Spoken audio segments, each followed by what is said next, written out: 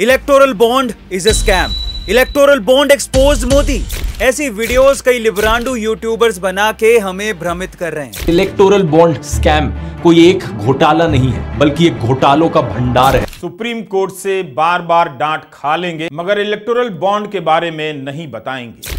आम जनता को सिक्के का सिर्फ़ एक ही पहलू दिखाया जा रहा है कि बीजेपी को सबसे ज़्यादा इलेक्टोरल बॉन्ड से चंदा मिला। ये यूट्यूबर्स लिस्ट कंगाल कंगाल के बीजेपी और मोदी के खिलाफ माहौल बनाने की कोशिश कर रहे हैं। राहुल गांधी ने तो इलेक्टोरल बॉन्ड को मोदी की इंटरनेशनल हफ़्ता वसूली तक बता दिया। वसूली भाई की तरह ईडी सीबीआई का करते हैं दुरुपयोग। ये कहना है राहुल गांधी का पीएम मोदी को लेकर। बस उसके बाद ये लेफ़्ट लोबी और कई नौसिखिए यूट्यूबर्स ने पीआईएल के थ्रू एसबीआई द्वारा प्रोवाइड की गई इलेक्टोरल बॉन्ड के डोनर की लिस्ट में भ्रष्टाचार निकालना शुरू कर दिया। और मोदी को तानाशाह और हफ़्ता वसूली करने वाला बता दिया। लेकिन उन्हें ये कौन बताए कि ये मोदी सरकार में ही हुआ है कि आप कम से कम ये तो जान पा रहे हो कि किन राजनीतिक पार्टियों को चंदा कौन, कैसे और कितना दे रहा है? क्योंकि मोदी के आने से पहले तक तो इन राजनीतिक पार्टियों ने किससे कितना चंदा लिया, इसका कोई हिसाब ही नहीं है। और ना ही कोई स्कीम बनाई गई थी। आज कम से कम मोदी की पारदर्शी नीति की वजह से एक लिस्ट तो है, जिस पर ये सारे लिबरांडू बवाल काट रहे हैं। मैं सिर्फ़ इतना कहना चाह रहा हूँ कि सिक्के के दो पहलू होते हैं, जिन्हें जानना बेहद ज़रूरी है, ताकि आम जनता को बेवकूफ़ ना बना पाए। तो चलिए, इस वीडियो में आपको इलेक्टोरल बॉन्ड के सिक्के के दूसरे पहलू को दिखाते हैं। जानना चाहते हैं आप तो वीडियो को पूरा देखिएगा। अब देखिए मुद्दे हैं तीन, जिन्हें आपको समझना बेहद ज़रूरी है। पहला मुद्दा, आलसी जनता, काला चंदा और मजबूर राजनीतिक पार्टियाँ। देखिए, एक छोटे से सरपंच का चुनाव लड़ने में पाँच से दस लाख रुपए लग जाते हैं। एक एमएलए का चुनाव लड़ने में पचास से साठ लाख रुपए और एक एमपी का चुनाव लड़ने में डेढ़ से दो करोड़ रुपए या कभी कभी उससे भी ज़्यादा लग जाते हैं। पर ये पैसे खर्च कैसे होते हैं? देखिए, इसमें कुछ पैसा तो चुनाव लड़ने वाले को जिस पार्टी से लड़ रहे हैं, उसे देना पड़ता है। फिर मैं भी चुनाव लड़ रहा हूँ, मुझे वोट दो। इस पब्लिसिटी में पैसे खर्च होते हैं और माने ना माने थोड़े बहुत पैसे इलीगल तरीकों में भी खर्च करने पड़ते हैं। आप बुरा मत मानिएगा, इसमें हम जनता है बहुत ही शाणी।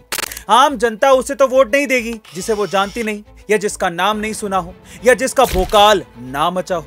काम भले ही नेता ने किया हो या ना किया हो, पर भोकाल ज़बरदस्त होना चाहिए। तो 90 परसेंट जनता गाहे बगाहे उसी को वोट डालती है। जनता ठहरी आलसी, वो खुद से रिसर्च तो करती नहीं। कौन अच्छा है, किसने अच्छा काम किया है, इसके बारे में जनता को क्या ही लेना। और अगर कोई कैंडिडेट सिर्फ़ अपने काम के सहारे बिना पब्लिसिटी किए वोट की चाह रखता है तो वो जनता की नज़र में बेवकूफ़ है। यानी चुनावों के इर्द गिर्द आपके जितने पोस्टर दिखेंगे, जितना विज्ञापन दिखेगा या आपका जितना भोकाल मचेगा, उतने ही आपके वोट पाने के चांसेस बढ़ेंगे। अब इस भोकाली में लगता है पैसा, जिसे खर्च करना नेता की है मजबूरी। अब वो ये पैसा लाए कहाँ से? खुद की जेब से लगा दे तो वो रिकवर कहाँ से करेगा? क्योंकि आजकल के माहौल में गलती से भी टेबल के ऊपर या नीचे से रिश्वत लेते पकड़ा गया तो राजनीतिक करियर तो अब वो उसकी मजबूरी है कि वो किसी से चंदा ले और चुनाव लड़े। अब चंदा देने वाला या तो निकले महादानी, जिसे बदले में कुछ भी नहीं चाहिए। तो तो ठीक है, लेकिन कलयुग में ऐसे महादानी मिलेंगे कहाँ से? अब बचता है सिर्फ़ एक ही रास्ता, कि वो जिससे चंदा ले, उसे बदले में कुछ ना कुछ फेवर ज़रूर दे। और यही आज़ादी के बाद से भारत की राजनीति में होता आया है। फिर चाहे वो कांग्रेस का राज हो या फिर बीजेपी का, या किसी और पार्टी का, इसे आम जनता जानती है। यानी बकवास कितनी भी कर लो, चुनाव चंदे के बिना हो नहीं सकते और चंदा बिना फ़ायदे के मिलता नहीं। और इसके लिए सबसे पहले जिम्मेदार है आलसी जनता, जो अपना वोट पैसे की चमक देख के देती है, अपने विवेक से नहीं। अब दूसरा और सबसे महत्वपूर्ण मुद्दा, क्या इलेक्टोरल बॉन्ड की असली सच्चाई से गुमराह कर रहे हैं? लिब्रांडू यूट्यूबर्स चलिए जानते हैं। देखिए, साल 2018 में केंद्र की बीजेपी सरकार ज़रूर इलेक्टोरल बॉन्ड की स्कीम लाई थी। लेकिन ये आइडिया निकला था साल 2013 में यूपीए सरकार के इलेक्टोरल ट्रस्ट की स्कीम से। यूपीए की स्कीम में सारी कॉरपोरेट कंपनियाँ मिलकर पैसा इकट्ठा करती और फिर इलेक्टोरल ट्रस्ट उन पैसों को सभी पार्टियों में बांटता। बस फ़र्क सिर्फ़ इतना था कि सत्ताधारी पार्टी इसमें ज़्यादा से ज़्यादा पैसे लेने की कोशिश करती। कॉरपोरेट चंदा देकर खुश थे, क्योंकि उन्हें पता था कि अगर उनकी पार्टी सत्ता में आ गई तो फिर उन्हें फेवर तो करेगी ही। साल उन्नीस तक तो राजनीतिक पार्टियों को मिलने वाली फंडिंग सीधे सीधे सिर्फ़ कांग्रेस पार्टी को ही मिला करती थी। और इंदिरा गांधी ने बाकी पार्टियों पर पूरी तरीके से बैन लगा रखा था। राजीव गांधी के दौर में उन्होंने बाकी पार्टियों को थोड़ी राहत ज़रूर दी थी और कॉरपोरेट को बाकी पार्टियों को अकाउंट से पैसा देने के लिए अनुमति दे दी थी। फिर साल 2003 में यूपीए सरकार के दौर में ये निर्णय लिया गया था कि पार्टी को मिलने वाली सारी फंडिंग टैक्स फ्री होगी। जब इन सबसे कोई ज़्यादा पारदर्शिता नहीं आई तो इसके बाद साल 2018 में जब केंद्र में बीजेपी की सरकार इलेक्टोरल बॉन्ड लेकर आई तो उनका ये मानना था कि इसके ज़रिए राजनीतिक फंडिंग में पारदर्शिता बढ़ेगी और बिल्कुल साफ़ सुथरे तरीके से पार्टियों को चंदा मिलेगा। वित्त मंत्री अरुण जेटली ने कहा था कि इस योजना से राजनीतिक फंडिंग में दो लेवल पर पारदर्शिता पारदर्शिता आएगी पहला, चंदा देने वाले के अकाउंट में रिफ्लेक्ट होगा कि उसने कितने के इलेक्टोरल बॉन्ड खरीदे। और दूसरा, राजनीतिक पार्टी को भी यह बताना होगा कि उसे कुल कितना चंदा मिला। लेकिन आज इलेक्टोरल बॉन्ड के नाम पर सिर्फ़ प्रोपेगेंडा फैलाया जा रहा है। साल 2018 में जब इलेक्टोरल बॉन्ड लाया गया था, तब उसे सभी पॉलिटिकल पार्टियों ने सपोर्ट किया था। लेकिन आज वही पार्टियाँ इसका विरोध कर रही हैं। यही नहीं, कुछ लोग वीडियो बना बना के बता रहे हैं कि बीजेपी को सबसे ज़्यादा, यानी 50 परसेंट फंडिंग मिली है। टोटल बारह हज़ार करोड़ रुपए में से छह हज़ार करोड़ रुपए बीजेपी को मिले हैं। लेकिन वो लोग 2018 के पहले का डेटा नहीं दिखा रहे। 2018 से 19 के बीच सिर्फ़ एक साल में 8000 करोड़ रुपए की फंडिंग आई थी, जिसमें से बीजेपी को ना के बराबर ही फंडिंग मिली थी। और अगर ओवरऑल देखा जाए तो साल 2018 से 2023 तक कुल बीस हज़ार करोड़ रुपए आए हैं। इसमें से सिर्फ़ छह हज़ार करोड़ रुपए ही बीजेपी को मिले हैं और बाकी चौदह हज़ार करोड़ रुपए विपक्षी पार्टियों को मिले हैं। इसमें भी टीएमसी को सबसे ज़्यादा फंडिंग मिली है, जिसके बारे में ये लोग बात तक नहीं करते। अब बीजेपी का तो ये भी कहना है कि साल 2000 से पहले जितनी भी सरकारें थी, वो बड़े बड़े बिजनेसमैन से लाखों का चंदा लेती थी, जिसमें से सिर्फ़ कुछ ही हज़ार रुपए पार्टी फंड में डाला जाता था और बाकी पैसा नेता लोग अपनी जेब में डाल लेते थे। लेकिन इलेक्टोरल बॉन्ड लाने के बाद कम से कम ये तो पता चल रहा है कि किस पार्टी को किसने कितना पैसा दिया है और वो सारा पैसा कम से कम पार्टी फंड में तो जा रहा है। कई बार हवाला के ज़रिए आने वाले पैसों का भी हिसाब नहीं रहता था, लेकिन इलेक्टोरल बोन आने के बाद इस सारे पैसे का हिसाब रखा जाता है। नवंबर 2023 में केंद्र सरकार ने सुप्रीम कोर्ट को यह बताया था कि आर्थिक वर्ष 2004-5 से 2014-15 के राजनीतिक दलों की कुल इनकम का 69 परसेंट हिस्सा अननोन सोर्सेज से आता था।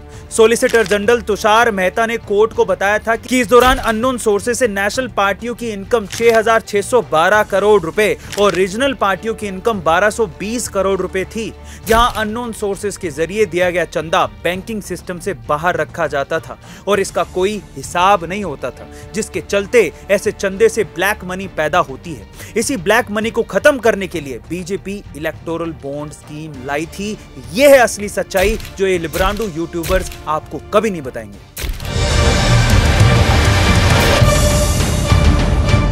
अब तीसरा, आखिरी और सबसे महत्वपूर्ण मुद्दा, चंदे का इस्तेमाल कैसे हो रहा है? देश हित में या देश विरोध में?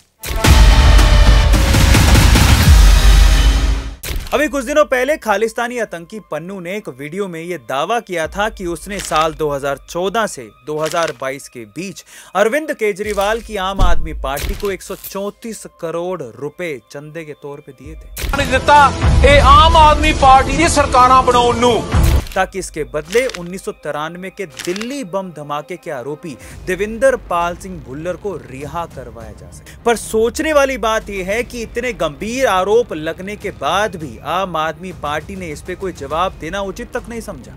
इसके अलावा कांग्रेस पार्टी पर भी कई बार ये आरोप लगाए जाते हैं कि उन्हें अमेरिकन अरबपति जॉर्ज सोरोस का चंदा मिलता है। और सोरोस कम से कम भारत के हित में तो काम नहीं करते। कई बार कई पार्टियों पर पाकिस्तान, चीन, यूक्रेन, अमेरिका और गल्फ देशों से चंदा लेने की भी खबरें आती जो भारत को कभी भी मज़बूत देश नहीं बनने देना चाहते।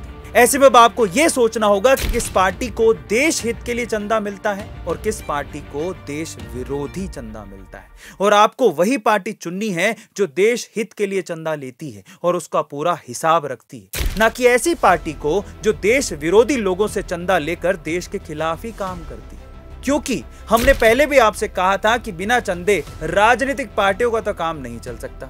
तो असल चीज़ इस पे हमें ध्यान देना चाहिए कि इस चंदे का इस्तेमाल कहीं देशद्रोह में तो नहीं हो रहा। कहीं देश को तोड़ने की या कमज़ोर करने की कोई साजिश तो नहीं हो रही।